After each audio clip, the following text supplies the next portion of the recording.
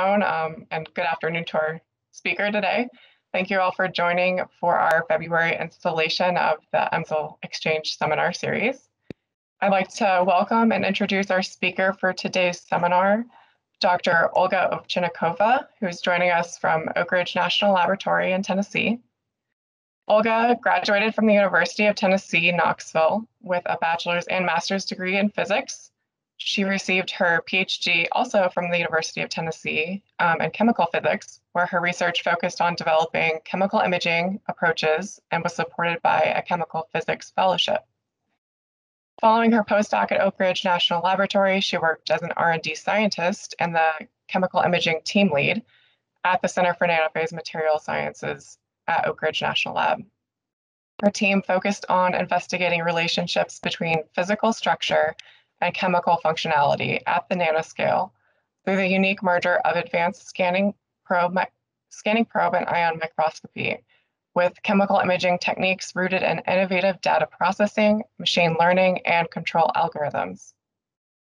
Currently, Olga is a senior R&D scientist at the, and the group leader of the Multimodal Data Analytics Group in the Computational Sciences and Engineering Division where her research focuses on incorporating high performance computing and edge computing directly into streaming data pipelines for multimodal chemical imaging and microscopy. Her work has generated multiple patents and commercial licenses to industry and has been recognized by the Fowler Marion Dissertation Award, the UT Battelle Early Career Award, ABS Rising Stars Award, UTK Research Foundation Patent Award, and the Rapid Communications and Mass Spectrometry Beynon Prize. So with that, I'll turn it over to Olga and let her introduce her topic for today's talk. Olga? Thank you very much, uh, Jade, for the introduction. And I'm really excited uh, to have the opportunity to talk with you about some of the work that we have been uh, pursuing at Oak Ridge. As Jade said, um, I was at CNMS for a long time, and so the work that you will see was actually conducted at CNMS. Um, and recently, um, as of beginning of October, I moved over to the computational sciences side to work on the development of development of these data pipelines to enable edge computing and machine learning directly from instrumentation to be able to unravel the origins of functionality uh, through correlative multimodal imaging. So uh, what do we mean in developing workflows for multimodal imaging? Well, so if you think about what we want to do, bring uh, different modalities of imaging together and when you bring these modalities of imaging together, you're going to have different spatial temporal uh, scales that you're dealing with. You're going to have voxels of different uh, uh, sizes. And you want to be able to first be able to develop applications for correlation of these different data sets, as well as then start to start pulling out information in terms of physical and chemical relationships. And to do that, we want to be able to incorporate uh, a workflow that takes advantage of our high performance computing environment. And so the, the, to do that, what we're developing is being able to do a lot of the data processing right at the microscope, so do edge computing. So the first area where you're actually incorporating uh, intervention into the data stream. And so in, in cases, it can be registration of the data. In some cases, it can be data reduction and compression. In some, it can be automatic segmentation and then feeding that data directly back to the OLCF, our HPC computing facilities, to do further processing and also compare with modeling if you want to be able to take your data and compare it and run MD or DFT simulations. And so to be able to generate basically uh, new knowledge that would then kind of start building you a picture of the correlation of the structure function relationship in materials. Now, some of the materials that we've really been focusing on in particular are functional materials. And one material and one class of materials that I've worked uh, a lot in the past, let's say six years with is ferroelectric materials. And uh, of course, uh, ferroelectric materials are very um, ubiquitous in technologies we use today, from uh, data storage uh, to microactuators to for use in second harmonic generation. And the however, the macroscale behavior of these ferroelectric materials is really determined by their nanoscale pair characteristic in terms of their uh, switching of their domains and their polarization screening phenomena.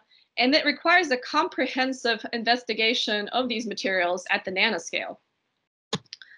One of the premier approaches, and it's been developed over the past 20 years for studying uh, materials at the nanoscale in terms of the functional material response is atomic force microscopy. Um, for those of you who are most probably familiar, uh, AFM uses a sharp pointed cantilever with a tip that allows you to basically probe and sense material physical properties. Since you're physically probing the surface, you can get mechanical properties. You can also bias the, your sample or the tip and get electrical properties. And you can get even things like magnetic properties, all using at the nanometer scale. However, um, you know, when you're looking at ferroelectric materials and you're using the AFM, you, in particular, you can start using something, a technique that's called piezo response force microscopy, which basically gives you information about the electric mechanical response of the material. And so if you use PFM on a ferroelectric, and this is a layered ferroelectric material, this is a copper indium thallose uh, phosphate. It's a van der Waals crystal, and it's being it's being investigated for uh, quantum materials applications. And you can see you can do the AFM topography. You have these different layered flakes. However, when you do PFM, it now allows you to see from the PFM amplitude, what you see is you start seeing the domain walls. And from the PFM phase, you have the different domains up and down polarization. You can also use um, AFM in terms when you're looking at uh, ferroelectric materials. You can use not only PFM for imaging, but like I said, you can bias the AFM tip, and now you can switch the different polarization of the domains. You can also measure the hysteresis loop, you can do a switching spectroscopy associated with the switching of the domains, and you can also even use the AFM tip to do nanolithography into write-in domains. And so here's an example of uh, base of writing in your own domains and then switching them. This is the polarization um, hysteresis you can measure directly from the surface. And when you start using PFM to investigate materials, what you start, you know, you should expect a strictly physical phenomena, right? So switching of the ferroelectric domains.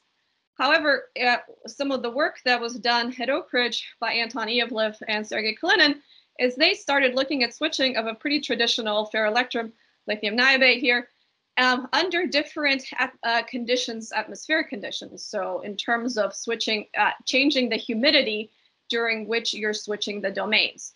And so as you can see, when you're switching the domains with 0% humidity, they're, they're pretty regular domains here that you're applying. However, as you're starting to uh, change the humidity from zero all the way up to 60, you start having very irregular patterns, not regular.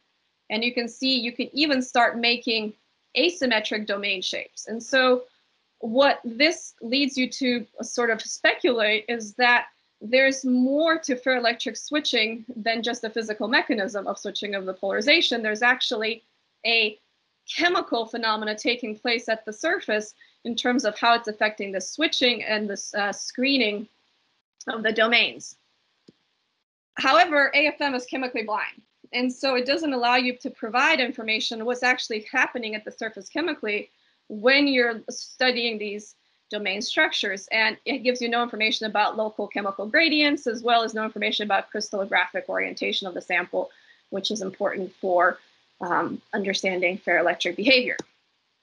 And when we started to explore uh, what are some of the chemical effects phenomena in ferroelectrics, what we found is it's much more complicated than we actually thought of before. So if we take a, another ferroelectric material, this is bismuth ferrite, BFO, and we tried to switch it locally, and you can see here, and so this is basically, we applied enough bias to do uh, some surface modification. We did um, basically irreversible switching. What we found is that we actually start getting the movement of base species throughout the the thin films. But what's more interesting is it's not only do we have the motion of the base ions in, in the ferroelectric when we're applying the bias, but we also have changes in surface chemistries that take place from uh, elements that they didn't even know were there. So for instance, in this case, we actually saw chlorine over here penetrating into the BFO and the chlorine was on the surface basically from the processing of the film. So when you're switching these materials and some of the behaviors you see are actually being caused by the local chemistry of the surface.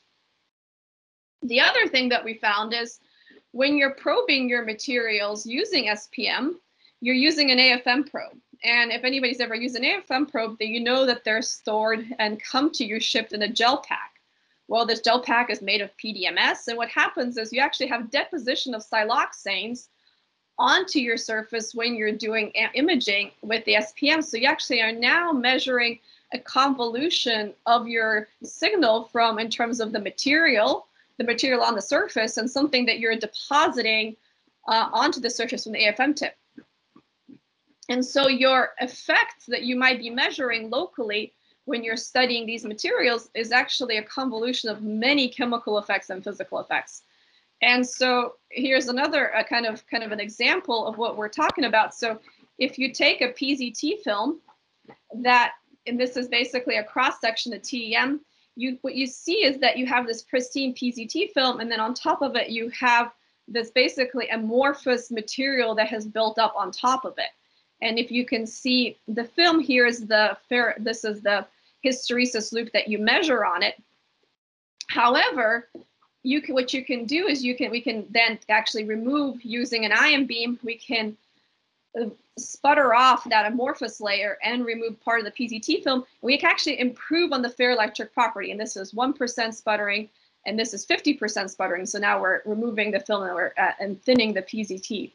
And so to be able to understand some of the fundamental mechanisms um, in terms of driving these ferroelectric materials and being able to improve on their performance for things such like memristors, we really need to do multimodal imaging where we both measure the functional physical response of the material as well as the local chemical environment. And so kind of the takeaway message is uh, chemistry actually plays a critical role in defining the functionality that we're measuring in a lot of our techniques. So how do we go about measuring both the chemistry and the physical response of the material together? And so we worked with IonTOF and on getting one of their first uh, beta test instruments, which combines an AFM inside the same chamber of a time of flight secondary ion mass spectrometer. And so you basically have the ability to now perform chemical analysis uh, using TOF SIMS. And for those, I know there's a lot of TOF SIMS experts in the room, but for those who may not be, is, you know, TOF SIMS, you use a focus ion beam that generates primary ions onto the surface. You can now focus this beam down using electrostatic lenses. You can create a, a reaction ion cascade that creates your secondary ions, which you can extract down, down the um, uh, time of flight tube to detect. And since you're doing this on a point by point basis, in each point you now have a spectra of all the ions removed. You can also move the ion beam across the surface and generate an image of each individual peak, as well as you can now, since the ion beam is destructive, you can remove material using either this ion beam or in our case, we actually have several different uh, sputtering ion sources and do a depth profile. And since it's in the same chamber, we can now do correlated imaging with AFM and do the same type of functional response as PFM or mechanical measurements on the same sample on the same area. Now, so what does that give you? So now, when we're studying our ferroelectric behavior, we can do the same type of um, physical characterization. So we can do, uh, this is a PZT sample, sort of a very standard ferroelectric that has been well studied. And what we can do is we can now use an oxygen um, sputter source that we have in the TOF SIMS to actually remove that top layer of material that I showed you that kind of builds up on the PZT, that amorphous layer, to have a, a true surface state, right? So now when we're going to switch the material, we're not actually having a convolution of what's on the surface and the actual material, but actually measuring the material properties as a function of, fair, of ferroelectric switching. And what we can do is we can use the AF tip femtip in the same way that I showed earlier. We can do uh, basically draw in domains. So we, we can go in and draw in a minus four domain, um, then a plus four domain, then a minus four domain. So basically creates the stack structure when you draw in first this one big box of this minus four, then you go inside, you draw another plus four box, then you go in minus four box. And so you can see the domain walls and the PFM amplitude, and you can see in the phase the domains.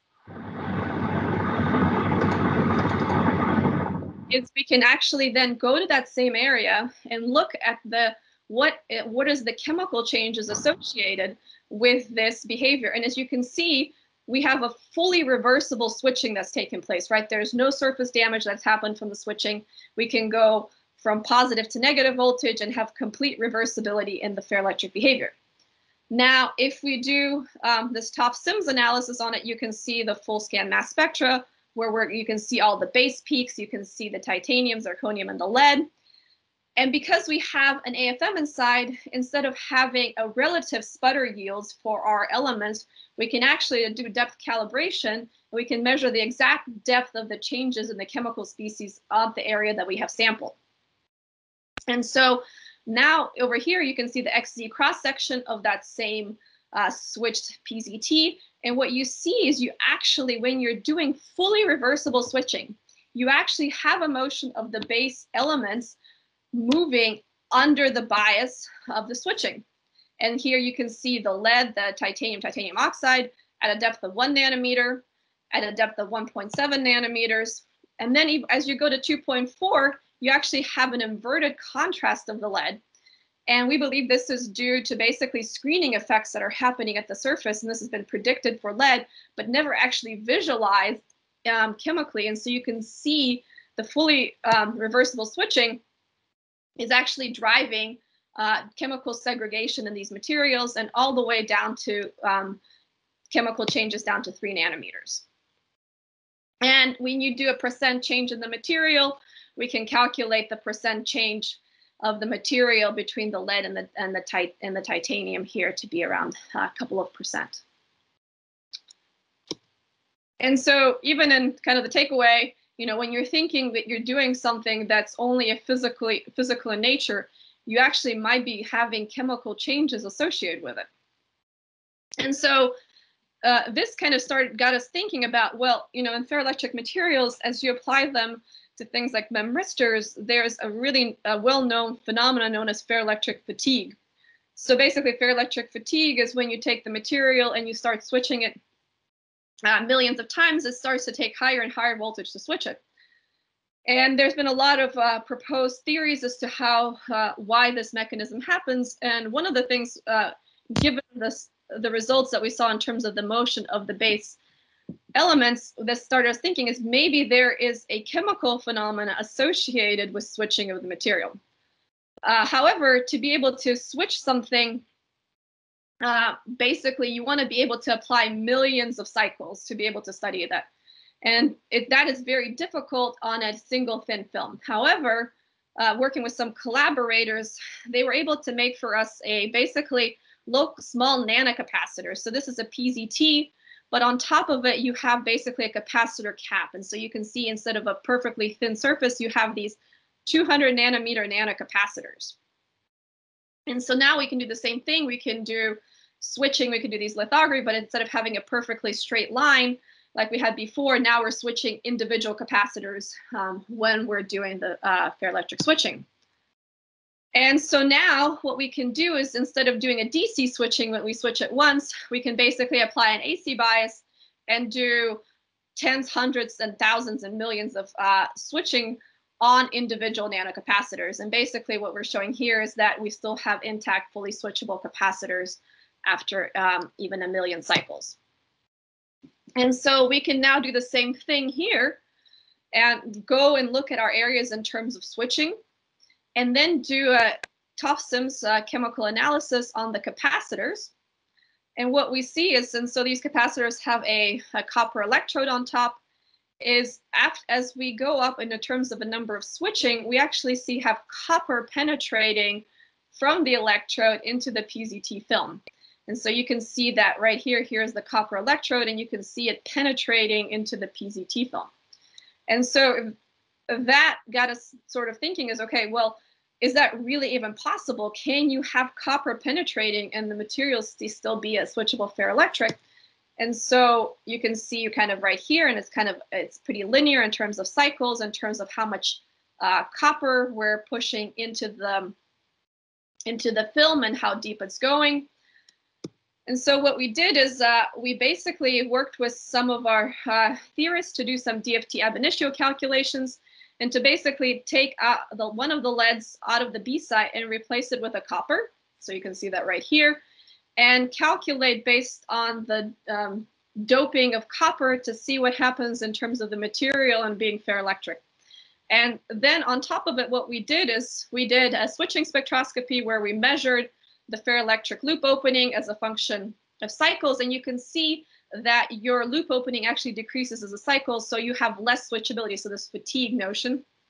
And what we found is that correlates very nicely with our ab initio calculations that we found that initially we actually, as you replace the copper, the material is still ferroelectric. Of course, if you have a very high dosage, you go to metallic. And what we believe is happening as we're putting in the copper into the lattice, we're actually basically creating frozen domains within the PZT that doesn't allow them to switch. And so you have less switchability. So we were able to basically show that potentially there's when as you're designing uh, these devices you have to be very cognizant of the type of materials you use and copper is a very common electrode because it's very cheap but copper can actually penetrate into your PZT device lattice. And now you can start having this basically copper intercalating into the structure causing uh, ferroelectric fatigue and shift in the and shift in polarization. So another uh, material that of course has gotten a lot of press and for good reason is uh, hybrid organic inorganic perovskites uh, and they have really taken off in the past five years because of their remarkable uh, photovoltaic um, conversion efficiency so if you look over here uh, MHPs have been able to achieve 23.3% efficiency in just about five years. And this has taken traditional silicon solar cells over 40 years to achieve. On top of it, there the processing that you can do, you cannot, you don't have to have them on a rigid substrate. As you can see here, they uh, you can deposit them on flexible substrates, and we've done that. And this is, of course, for wearable devices and electronics. Um, however, there is still a lot to be understood in terms of uh, since you're taking this perovskite structure as we had before in the ferroelectric, but now instead you're having this organic cation molecule um, that is sitting in the center, you have a lot of interesting potential behaviors in the interaction of different properties. So because you have a perovskite uh, structure, um, they, these materials have been uh, proposed to be ferroelectric in nature, and so you have this uh, dipole. Because you have this uh, organic molecule, they've also been proposed to be ferroelastic in nature. But because you have a small organic molecule, there also been talk about ion migration, and all of these phenomena have been talked about contributing uh, to the functionality of the material, both in positive and uh, negative ways in terms of performance.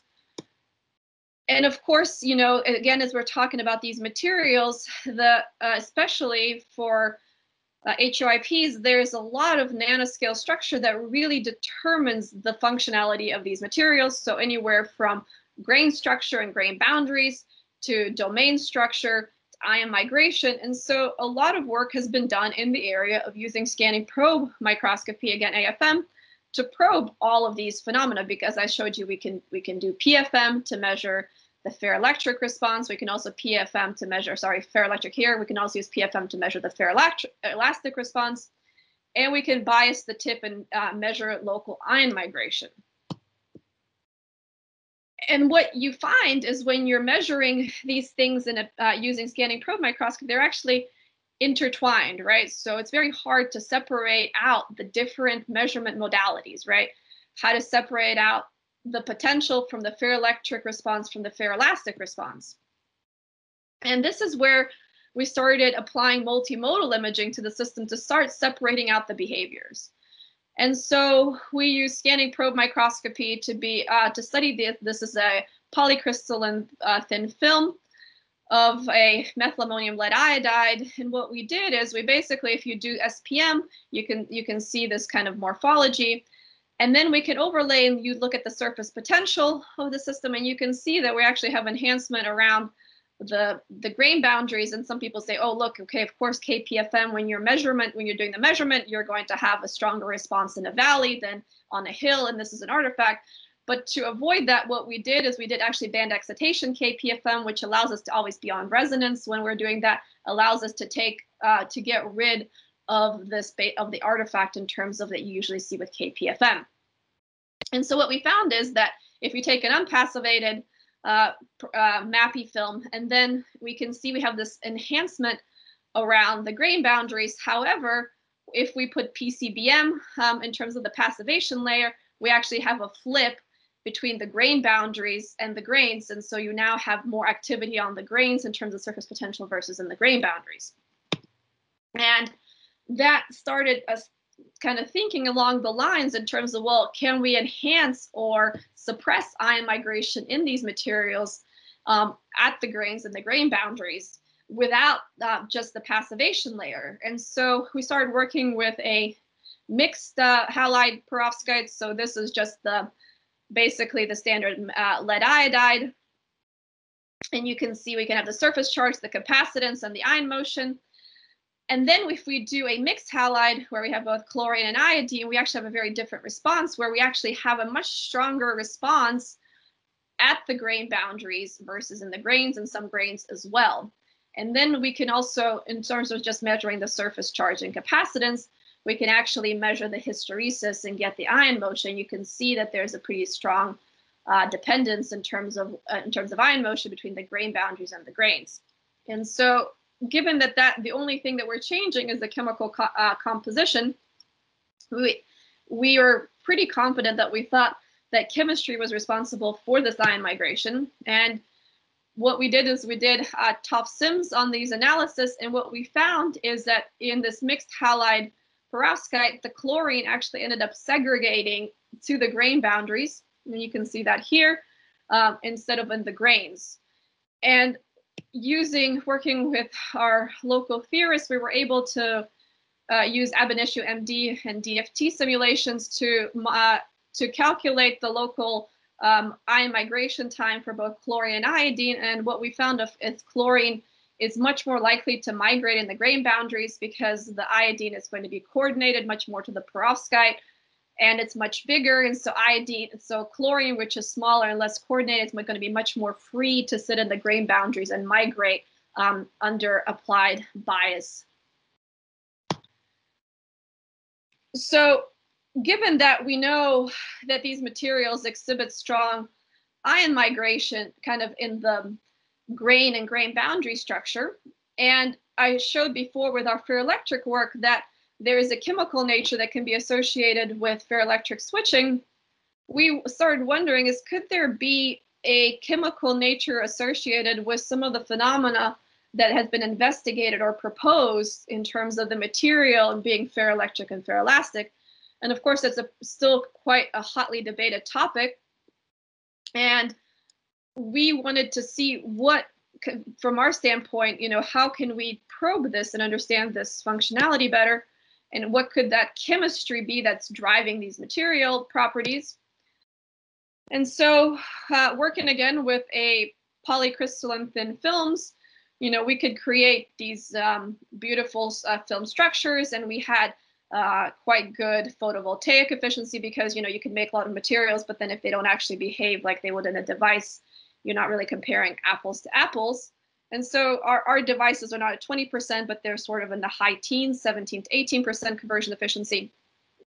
And you can see that we're creating these, this is an SEM image, we can create these, these are these grains, but then inside the grains, you can now see this stripe patterns here that look very similar to what you would expect from a ferroelectric domain walls and domains.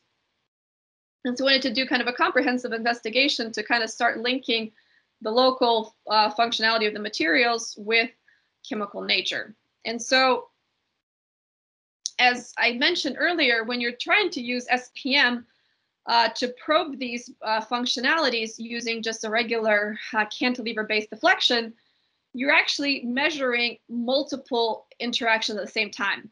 You're when you're doing electromechanical uh, characterization with the SPM, you're not only measuring the true deflection because you're measuring on a four quadrant detector, you're actually taking the uh, angle of the cant of the whole cantilever deflection. And so that can be dependent on multiple things, not just the electromechanical response, but also on uh, for instance, surface charge and capacitive coupling of the cantilever with the material. And so in collaboration with Oxford Instruments, uh, we have been working uh, with them on developing their interferometric beam detection approach for AFM, which instead of using a standard optical beam, you now have an interferometer detection. And what you can do is you can place your interferometer uh, uh, spot right here where B is labeled, which is right above where the tip is on the surface. So all you're measuring is really the the the electromechanical response of the of the tip motion, and you're now getting it in picometers, right? So you're actually measuring that directly, and instead of getting an angular displacement that you're converting to a, displacement in terms of nanometers. And what we found is that if we measure it at the basically if we take this material here and we uh, this is the topography and we put the cantilevers um, and we put the interferometer beam right above the tip we actually get no domain structure however if we move the uh, interferometer beam to these positions a and c off of the magic so now we're actually not only we're measuring more of the cantilever motion we start getting these beautiful ferroelectric domains as we saw in the SEM. Now, given the thermal noise on this cantilever, and since we measured the D33 uh, uh, directly, our, our, noise floor is we can't detect any ferroelectric uh, response below one picometer per, per volt, so electromechanical. And so this made us, th uh, this basically got us thinking, okay, one picometer per volt is pretty low, but you're getting all these domain structures that look very much like you would in regular ferroelectric material. And could this be due to more of a chemical nature in terms of interaction on the surface and surface potential that is driving the measurement of the um, of these? And so, working again um, with Oxford Instruments and the IDS, what we found is that if we do a topography of these materials and then we measure the standard optical beam deflection, and here's your amplitude, the domain walls, and this is your phase, and then we can that correlates directly uh, with the frequency response uh, that's measured uh, using their DART system. And what you can see in, in, in general in AFM is your frequency response and shift in frequency is due to changes in mechanical properties of the of these materials. And so you can see that the um, PFM response is directly correlated to the frequency response.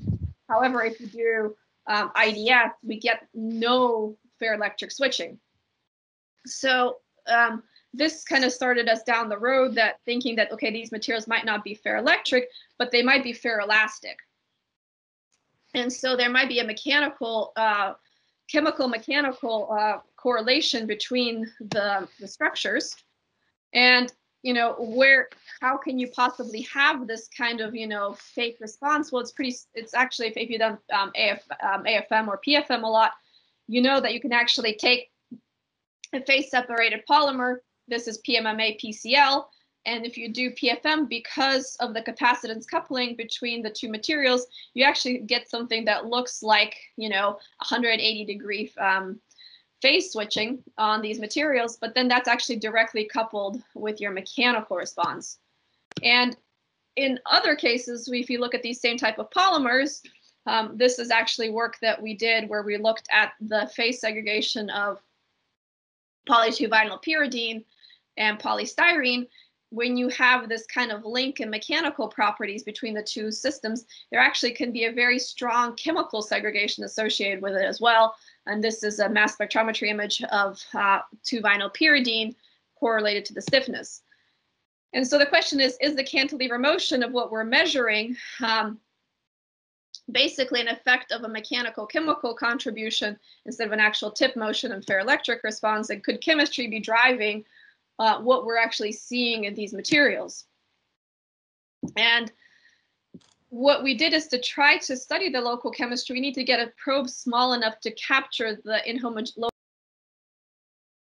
And if you look back at the size of these